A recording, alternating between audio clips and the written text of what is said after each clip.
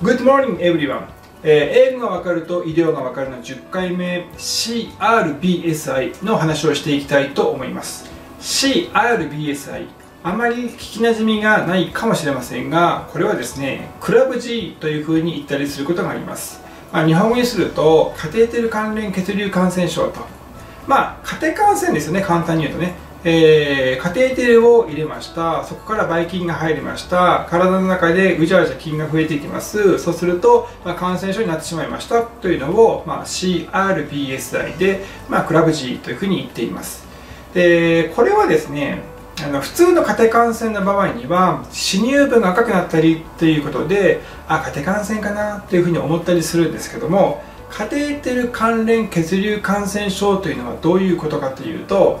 えー、歯乳部じゃないところで、えー、感染症が発生するっていうことが起こるんですね、まあ、例えば中心静脈のカテーテルが原因で、えー、動脈瘤が感染性動脈瘤ができてしまうと、ま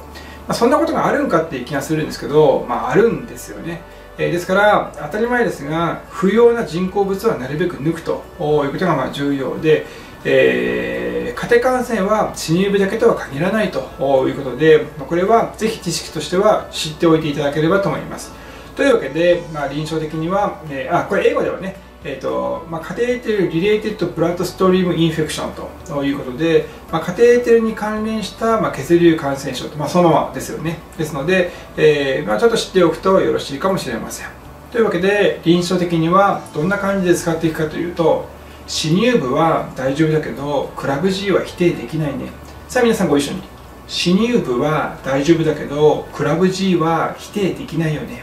えではですね、えー、今日も皆さん、えー、元気よく、まあ、仕事をしていただければと思います。Have a good day